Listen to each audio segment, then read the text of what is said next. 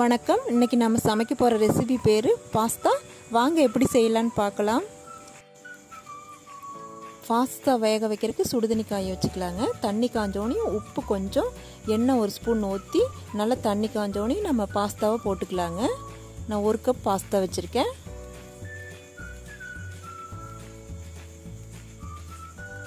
நல்லா கால் மணி நேரம் வேகணுங்க.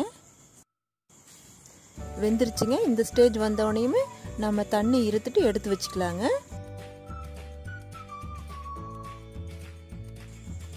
ஃபஸ்ட்டு பேன் வச்சு பேன் சூடானோடனே எண்ணெய் ஊற்றிக்கலாங்க எண்ணெய் ஹீட் ஆனோடனையும் ரெண்டு வெங்காயம் பெரிய வெங்காயம் பொடி பொடியாக கட் பண்ணி வச்சுருக்கேங்க. அதையும் போட்டுக்கலாங்க.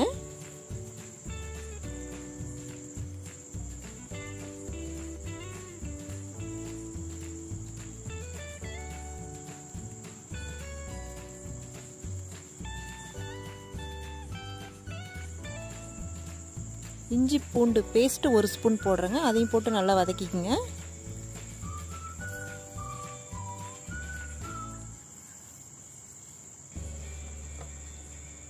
ஒரு பச்சை மிளகா கட் பண்ணி போட்டிருக்கேங்க. அதையும் நல்லா வதக்கிக்கோங்க. அது கூட சேர்த்து.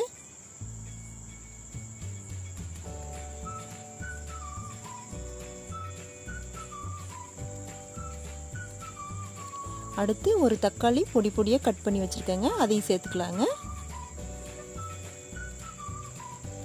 நல்லா வதங்கட்டுங்க.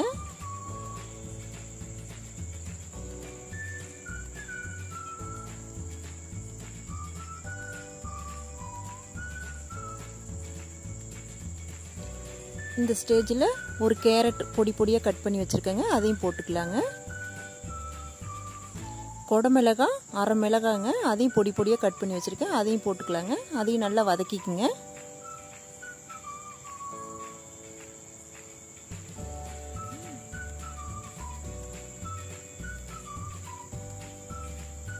நல்லா வதங்கினோடனே மிளகாத்தூள் ஒரு ஸ்பூன் ஜீரகத்தூள் ஒரு ஸ்பூன் கரம் மசாலா ரெண்டு ஸ்பூன் மஞ்சத்தூள் உப்பு தேவையான அளவு போட்டிருக்கேங்க. இதையும் நல்லா இப்போ மிக்ஸ் பண்ணிக்கலாங்க.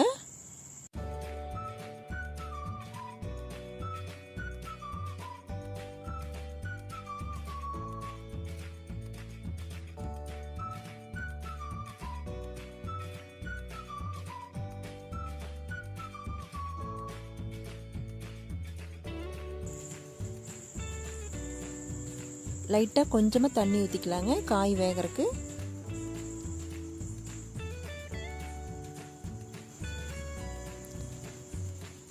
காய் வேகிறதுக்கு நம்ம ஒரு நிமிஷம் மூடி வச்சு எடுத்துக்கலாங்க.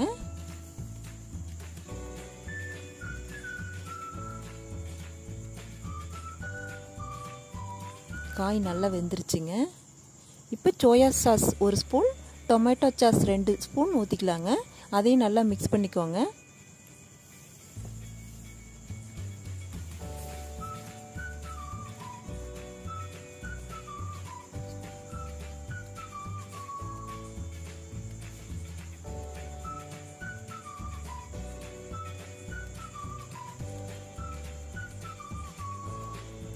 இந்த மாதிரி மிக்ஸ் பண்ணிவிட்டு நம்ம ரெடி பண்ணி வச்ச பாஸ்தாவை இப்போ போட்டுக்கலாங்க. இப்போ இதை நல்லா மிக்ஸ் பண்ணிக்கலாங்க.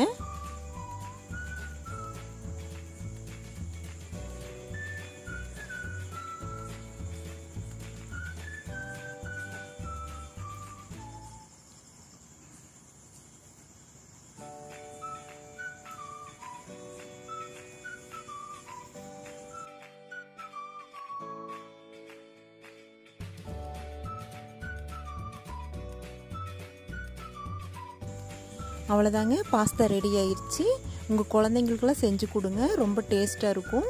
இந்த வீடியோ பிடிச்சிருந்தா லைக் பண்ணுங்கள் ஷேர் பண்ணுங்கள் சப்ஸ்கிரைப் பண்ணுங்கள் நன்றி வணக்கம்.